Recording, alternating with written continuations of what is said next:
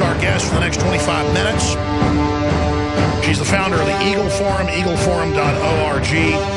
She is undoubtedly the greatest libertarian, constitutionalist, conservative uh, woman living.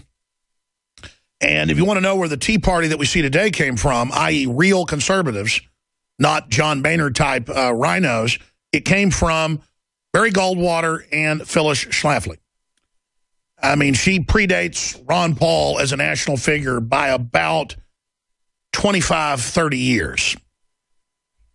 And she is, of course, a constitutional lawyer as well, a true example of a powerful, intelligent woman defending our republic, strengthening our families. I mean, I don't like to get up here and grovel to our guest, but uh, as I get older, I really uh, begin to realize how amazing people are. People I've already appreciated, but the fact that we should appreciate him even more. I mean, she's well-to-do, successful woman. She's a you know, grandmother, you name it. She doesn't need, since she's been fighting for freedom since she was 20 years old, uh, to you know be coming on the show or doing scores of interviews every week. But she does, just like Charlton Heston did before he died, because she cares about freedom so much. So she's a modern hero. She deserves to be a Time Magazine Person of the Year, not eugenicist, globalist, pro-death Margaret Sanger. So she's a true uh, icon. Uh, eagleforum.org. I won't go over all the work she's done, the best-selling book she's written, but she joins us now to give us her state of the world breakdown, the open borders, the TPP, Hillary's plan to get uh, in, saying if you're not for her, you're not for women, you know, vote for the grandma. Truly sickening when all they've done is disempower women. Look at the numbers. Uh, and she's got a detailed report uh, that was uh, out in WorldNet Daily last week, Hillary's plans to stuff the ballot box. So uh, Phyllis Schlafly joins us. Thank you so much for coming on. Hi, Alex. Go, always good to join you. It's great to have for, you. Thanks for all those kind words you said about me. Well, it's all true, so it's no brag, just fact. What do you want to tackle first? Uh, well, the hottest thing in Washington now is this trade deal. And uh, a lot of people are misled about it, but it's I think it's about the worst piece of legislation that I've ever seen because it gives away so much of our sovereignty. And we're very proud that we are a sovereign, independent nation that's built a land of freedom and prosperity and the idea that Congress should give away some of its sovereignty to a bunch of uh, globalist busybodies is just outrageous. And it was all negotiated in a practically in a closet in a little room with Obama and a few foreigners. And uh, we know what a lousy negotiator he is. And uh, we got the short side of the stick. Yeah, I mean, 30 years ago, 40 years ago, there would be probably indictments happening. This would be called treason, trying to secretly sign us over to foreign corporate boards. Now, uh, people like Ryan and Boehner and others parade around promoting it like it's a good thing. I'm afraid there's money involved. I can't uh, prove it, but, uh, you know, when things are happening that make no sense, it's probably a case of uh, some money changing hands. But in any event, uh, what they're doing is very bad. And the one who's really been speaking out and telling the truth about it is Alabama Senator Jeff Sessions. And he is a real patriot. And uh, uh, you ought to read everything that he writes on this because he is showing that this thing called free trade, uh, which has to have, uh, I think, four different votes in order to yeah, lock it in, uh, is just a, a, giveaway of our sovereignty. It's giving these global busybodies control over our trade, uh, our immigration, uh, every everything you can think of, and it allows them to change it after they finish it. In other words, the Congress passes it. Uh, these uh, globalist busybodies can change it because they call it a living document. And you remember when some of these off the wall uh, Supreme Court justices talked about a living constitution. That was just a code word uh, for saying that they could uh, rewrite it according to their own uh, up to date uh, uh, ideas and personal preferences. And uh, we think if uh, Congress passes a law, uh, it ought to be obeyed unless it's re- revoked or reversed. And uh, the Constitution is the supreme law of our land.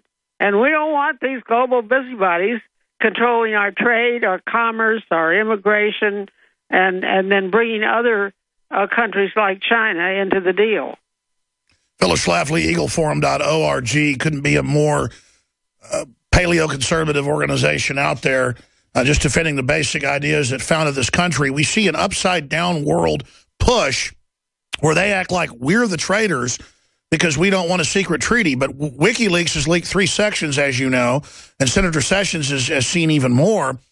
And it, it, it, gets rid of the borders. It gives the president dictatorial power across the board. It censors the internet and free speech. It puts foreign boards over our businesses. I mean, I can't believe Congress, as corrupt as they are, would even consider signing on. But here's my next question. There's always got to be a bottom. And was last Friday the bottom, or, or at least the inklings of a bottom, where they go so far that even the establishment, part of the establishment can't go along with it, because there's got to be some end to the arrogance, some end to the craziness. Uh, you know, federal court striking down Obama, just opening the borders up. He's still doing it, but at least courts have said he can't. I mean, there seems to be just a uh, one of the biggest constitutional crises we've ever seen, not just in our lifetimes, but in the 240-year history of this nation. I agree with you. I agree with all of that. It's so shocking. You, you, it's just so awesome. You can hardly believe what they are doing. And uh, it's cons they're conspired in by both Republicans and Democrats. Uh, some of each kind are to blame because they're ba- uh, ballyhooed by these uh, uh, these uh, lobbyists for the big companies who really want our immigration uh, increased so they get the cheap labor. I think that's what's at the bottom of a lot of it. And then the people who've been trying to give us globalists. You know, I spent a year of my life fighting uh, uh, one of the George Bushes. I get him mixed up. Who wanted to put us in a North American Union? We don't want to be in a union with Mexico and Canada. Uh, we didn't like that idea, and we did beat him on that. But now they're coming back in this bill that's before them right now, and uh, in effect, as, as Senator uh, Sessions says, it really puts us in some kind of a European Union. So they didn't dictate our laws. You know, they just decided uh, these global busybodies just a few weeks ago that we have to repeal our cool law. And our cool law is the stands for country of origin. And I'd like to know where our meat is coming from before I buy it. And so would the American people. But the Congress has now said, oh yes, these uh, global busybodies have said we have to repeal it, so we so we so we repeal it. You can hardly believe they're doing this kind of thing. Phyllis Schlafly's our guest. Uh, we're also on television, not just radio. We're showing footage. There's hundreds of these videos uh, in France at the tunnel, at the ferries and the tunnel, where police basically on both sides are undermanned and ordered, it's come out, to stand down and let them uh, get on the buses, get on the uh, hijacked vehicles, and then they just basically let them through. When the police try to stop them, it becomes a human rights abuse claim uh, and they're, quote, allowed to migrate. Africa's collapsing. The Middle East is collapsing. Boats are sinking every week coming across to Italy. Uh, and the so-called left wants to allow this. Do they understand that there's six-plus billion people that want to come into the West, and then once they're given welfare, the socialists will have checkmate on political groups that'll vote to do whatever they want? Well, I hope you've read uh, Ann Coulter's book, Adios America because she really tells it like it is and how it will absolutely change America. And uh, these people coming in, uh, you know, I'm glad to welcome people who want to be Americans, who want to speak English, who want to obey our laws and our Constitution. But these people coming in don't want to be Americans. They want to they want to change us and make us like their country. And there's no other country like America. I agree, but it's beyond that. The third world is unsustainable. It's collapsing. The birth rates are astronomical, like five children. The left is bringing people here and then teaching them to hate the country in a political takeover. Don't they get that we're collapsing into uh, Blade Runner meets uh, Road Warrior? I mean, this is a really dangerous scenario right now. We're already teetering worldwide on top of debts that are unsustainable. You can see it building towards a crescendo. Well, the people who are coming in don't understand that because uh, they don't understand uh, uh, how we're uh, in a precarious position, but they think anything in America is better, and they it probably is better than what they have, even even with all of our debt. Uh, but uh, we we know we're losing our strength, our prosperity, our freedom, all that sort of thing, and uh, we have the best country in the world, and and we shouldn't we sh- we shouldn't give it away. And if we let all these people in who don't believe in America, it's going to be a different world.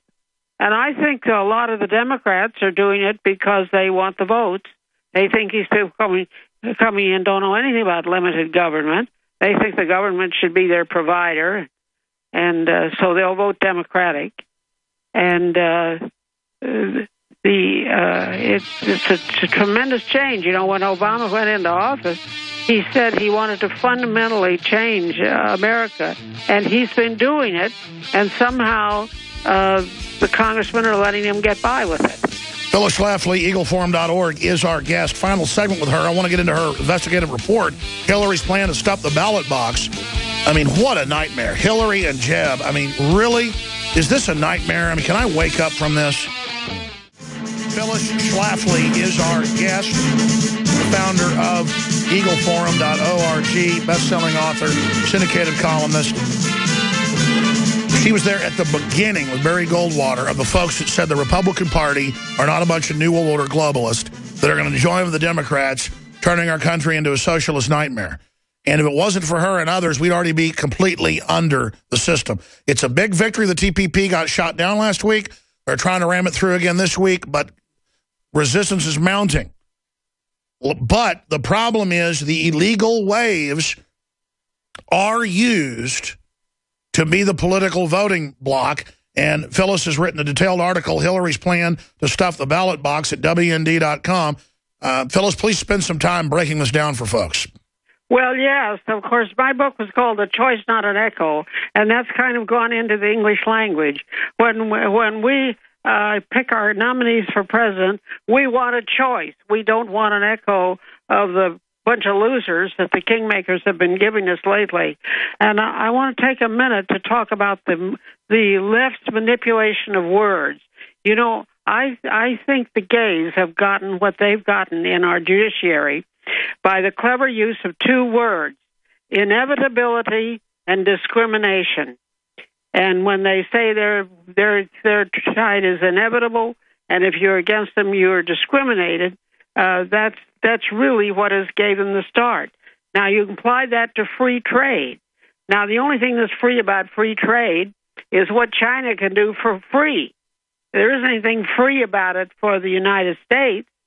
Uh, it's a it's a big cheat. It should be called one-sided screw job trade. Right. You're right. And yeah, we need to make sure we don't fall for these words that are trying to manipulate our thinking. Well said. Uh, what about Hillary's brazen getting money from third world dictators at the State Department to her foundation to then sell them weapons? Uh, and, and they're just brushing it off. And now her plan that you break down to stop the ballot box. Well, of course, she's all for bringing in um, more immigrants from other countries. And these immigrants who come in have no comprehension of limited government and of the way our Constitution sets up the freedom in our land. And uh, so they're going to come in and expect the government to take care of them, and this government starts giving them welfare benefits of all kinds, so they'll vote Democratic. I think it's a matter of votes. I, I think a lot of the big business, the lobbyists, uh, want the cheap, uh, low-paid workers for their businesses, and uh, Hillary and the Democrats uh, want Democratic votes in the ballot box. That's what it's all about. Well, sure. CNN calls it birth tourism and says Chinese mothers by the thousands a week come to the U.S. to have their babies for free. There's the yeah. headline, Why Chinese Moms Want American Babies. And they just say it like it's reasonable and cute when you can't go anywhere else in the world and get this. This is a joke. And now Chinese have surpassed Mexicans as the number one group pouring in. There's a billion, 300 million of them. This is suicide. Yes, it is suicide. and uh, we we have an exceptional, wonderful country here, and it's up to us to do it. And I I urge everybody to be involved in politics. You can't just uh, pray and expect the Lord to do it. Uh, it's not his. It's not his job. It's our job to make use of the uh, the political elements in our society to kick the bad guys out and get the good guys in. Why are the bad guys so destructive? I mean, they're in control. What they're doing will destroy their power base and, and will end up destroying their own nest. Is it just an instinct to overrun everything, a criminal instinct? What is it? Well, I think it's the uh, they think they're going to make money out of it, and they think, uh, but it's a short-term uh, look at at the raising of that money, because uh, even though they may get some cheap labor for a while, uh, they still are destroying our system. And it's our system that has enabled them to become uh, rich and successful. Yeah, yeah, it'd be like if I went home and killed my parents just so I could say I was dominant when they're the ones that had me, brought me up, took care of me. It just makes, it's just, it, it it's so self-destructive. Yes, it is. And and when, when Sessions said that these trade agreements that Obama signed onto, that they're putting all the pressure on to try to make Congress pass, uh, that they uh, uh, they they simply are uh, really they're taking away our sovereignty. Uh, they're taking away our wealth. They're uh, they're just changing our country. Well, as Obama said it best, he wanted to fundamentally transform it. We're being conquered. Right. Phyllis Schlafly, uh, your book is now back in print, updated, A Choice, Not an Echo. It's really updated because the, the recent years are really very interesting, and nobody's told the story of how the kingmakers are still... It's amazing. Around. Eagleforum.org. Thank you for the time. Have a great week. You're an icon. Thank you. Bye. An amazing lady. Most folks don't know how important she is or how great she is. If it wasn't for her and Barry Goldwater, we'd be done.